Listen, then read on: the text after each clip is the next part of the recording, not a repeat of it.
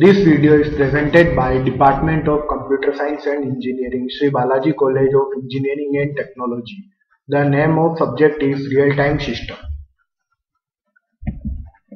Task Model Periodic Task Time driven characteristics are known as priori. Task is characterized by Ti, Ci. Task monitoring temperature of patient is in and ICU is example of periodic task. Aperiodic task. Event driven characteristics are not known as priori. Task is characterized by Ci, Di and some probabilistic profile for arrival pattern. For example, Poisson model. Task activated upon detecting changes in patient condition is example of aperiodic task, aperiodic task. Aperiodic task with known minimum inter-arrival time.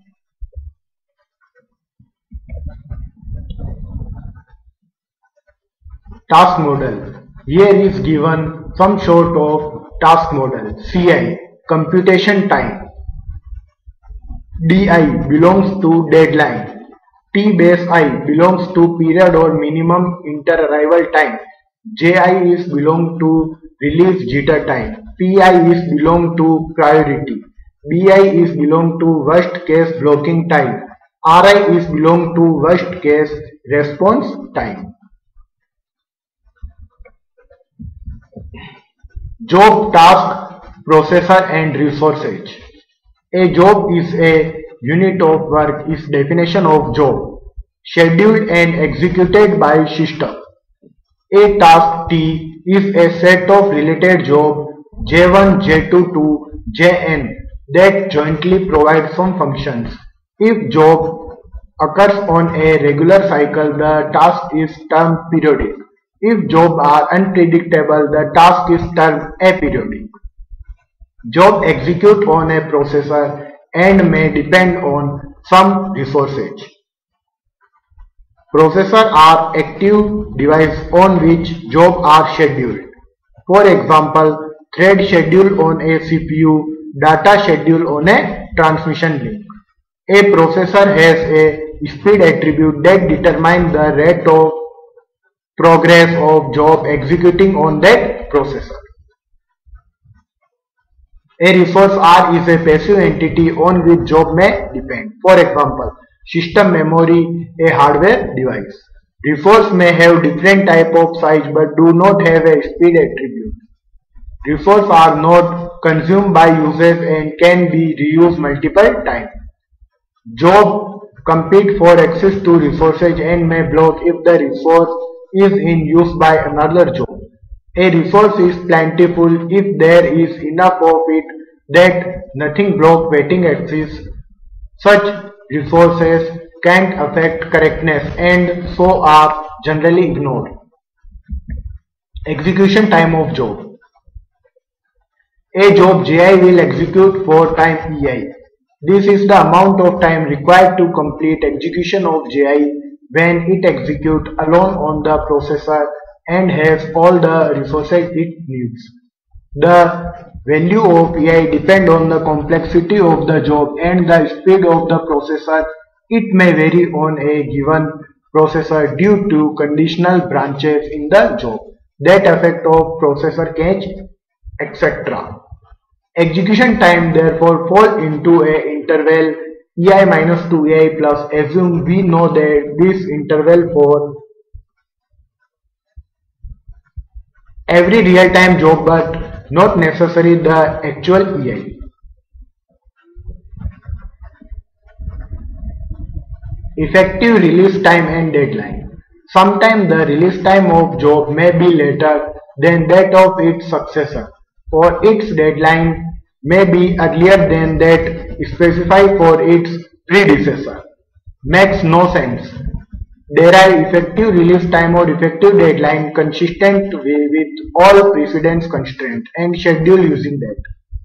Effective release time. Definition of effective release time is if a job has no predecessor, its effective release time is its release time.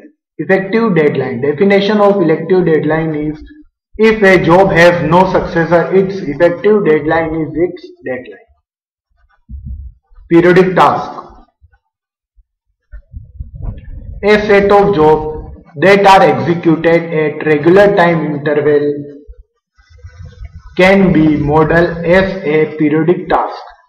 Many real-world systems fit this model. Each periodic task Ti is a sequence of jobs Ji1, Ji2 to Jin. Here I is denote row and 1 is denote the column. The phase phi of i of task Ti is the release time. Ri1 of the first job. Ji1. The period. P base i of task T base i. Here i is denote job 1 to n is the minimum length of time between release time and consecutive jobs. The execution time ei of task Ti is the maximum execution time of all job in the task. The utilization of task Ti is Ui equals to Ei upon Pi. It is formula of utilization of task and measure the fraction of time for which the task execute. The total utilization of a system U equals to Xi into Ui. Aperiodic and sporadic tasks. Many real-time systems are required to respond to unpredictable events these are modeled as aperiodic or sporadic jobs. And aperiodic job has no deadline. A sporadic job has a deadline once released. If it often possible to characterize the inter-arrival time for such job according to some probability distribution. The presence of aperiodic and sporadic job great complicates reason about a system. As periodic tasks make the design of hard real-time system impossible unless some bound can be placed on their inter-arrival time and relative deadline. Dynamic versus static system. A multiprocessor system is dynamic if the jobs can migrate between processors it is static if jobs are bound to a single processor. Expect static system to have inferior performance compared to dynamic system. But it is possible to validate static system whereas this is not always true for dynamic system hence most hard real-time systems are static. Results demonstrated for uniprocessor system are applicable to each processor of a static multiprocessor system. They are not necessarily applicable to dynamic multiprocessor system. Overview of real-time system. Sorry, scheduling. Jobs are scheduled and allocated access to resources according to a scheduling algorithm and some resources access control protocol. A valid schedule satisfies the following conditions. Every processor is assigned at most one job at any time. Every job is assigned to at most one processor at once. No job is scheduled before its release time.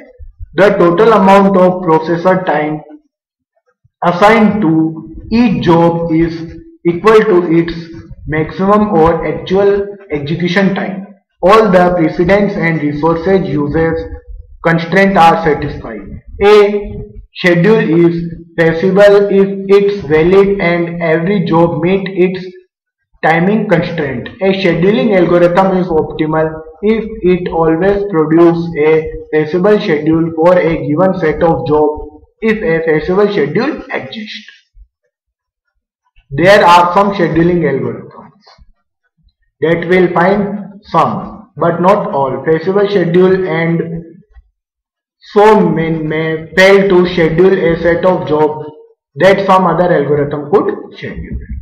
real-time scheduling algorithm. There are two types of real-time scheduling algorithm, clock-driven algorithm and priority-driven algorithm. Clock-driven algorithm are used to mostly static system, where priority-driven algorithm are used for most more dynamic system.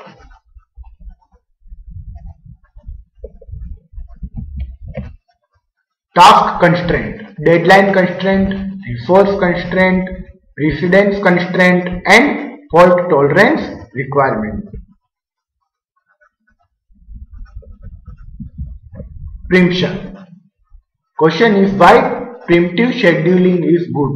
Means answer here is it allows for shorter response time of high priority task as a result it is likely to allow for a higher utilization of the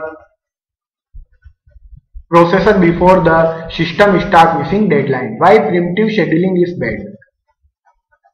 Answer is it leads to more task switch than necessary. The overhead of task switch are non-trivial. Preemption is continue. What is cooperative preemption? Answer is application allow preemption at given point, reduction of preemption, increase of latency for high priority task.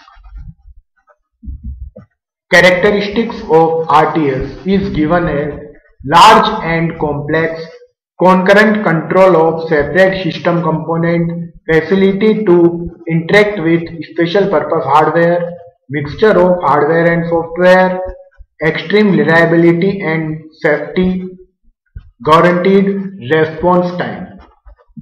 Thank you.